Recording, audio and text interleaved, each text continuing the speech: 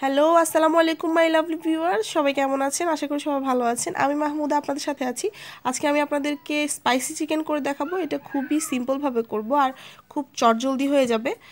তো এটা আপনি পোলাওয়ের সাথেও সার্ভ করতে পারবেন, পরোটার সাথেও সার্ভ করতে পারবেন, আবার শুধুমাত্র সস দিয়েও সার্ভ করতে পারবেন।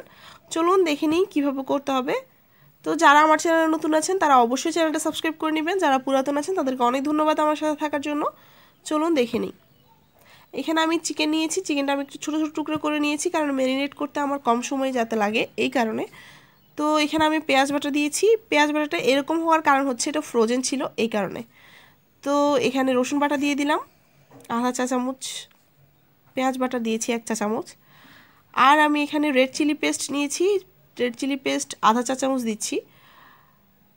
আপনারা চাইলে পাউডারও ইউজ করতে পারেন বাট পেস্টটা বেশি ফ্লেভার দেয়।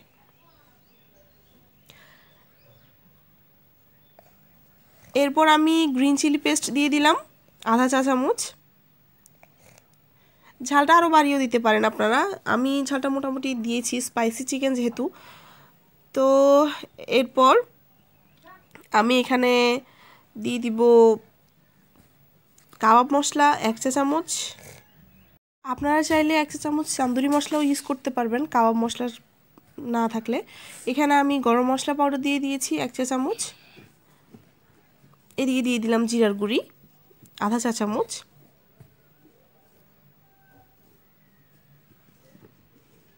এরপর লেবুর রস দিয়ে দিয়েছি আধা চা চামচ পরিমাণ।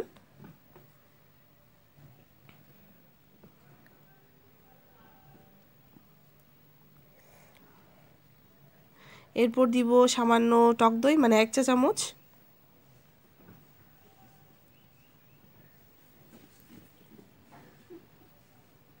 এরপর দিয়ে দিলাম লবণ, আধা চা চামচ মানে আপনারা পরিমাণ মতোই দিবেন। এরপর আমি এটা ভালোভাবে মিক্স করে নিচ্ছি প্রত্যেকটা মশলার সাথে। দেখতে পাচ্ছেন? খুব ভালোভাবে মিক্স করতে হবে যেন সবগুলো মশলা ভালোভাবে মিক্স হয়।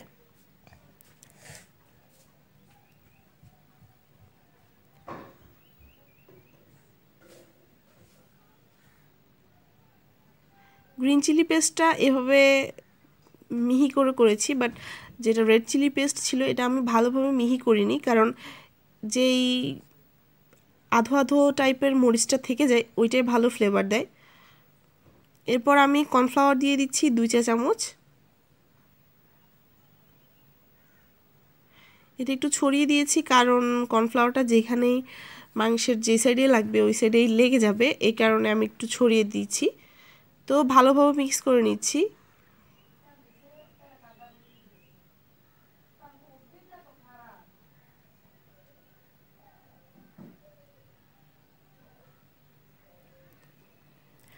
এরপর আমি এখানে দিয়ে দিব এক চা চামচ সয়া সস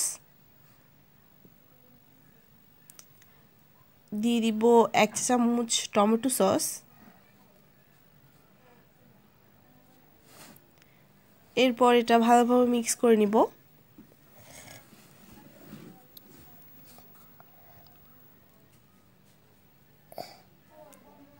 ভালোভাবে মাখিয়ে এবার আমি রেখে দিব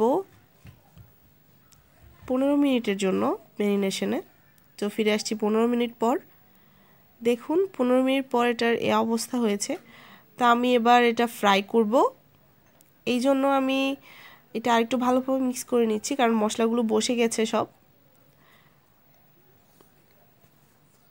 এর, এরপর আমি একটা কড়াইয়ে তেল দিয়ে দিলাম।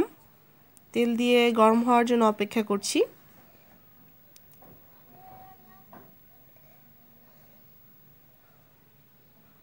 তেলটা গরম হয়ে এসেছে।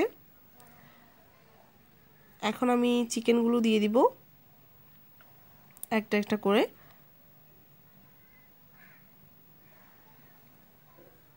তেলটা ভালোভাবে গরম না হলে কিন্তু হবে না। একটু ভালোভাবে গরম হতে হবে। চিকেনটা দিয়ে দিচ্ছি। এভাবে আস্তে আস্তে আমি সবগুলো চিকেন দিয়ে দিব।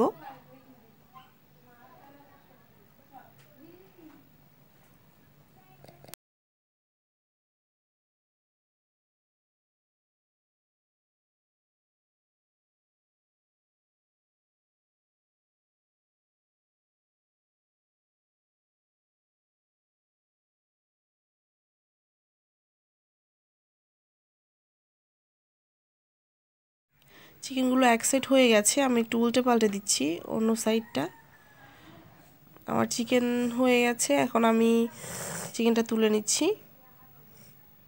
এই যে দেখতে পাচ্ছেন। তো এভাবে আমি প্রত্যেকটা চিকেন ভেজে নিয়েছি। তো আমার স্পাইসি চিকেন রেডি হয়ে গেছে। খুব সিম্পলভাবে আপনারা কোনো গেস্ট আসলে বা বাসায় খেতে ইচ্ছে করলে যখন তখন বানিয়ে ফেলতে পারবেন স্পাইসি চিকেন কষ্ট করে আর রেস্টুরেন্টে যেতে হবে না। আমার ভিডিওটি ভালো লাগলে অবশ্যই লাইক করবেন কমেন্টস করবেন শেয়ার করবেন। আল্লাহ হাফেজ।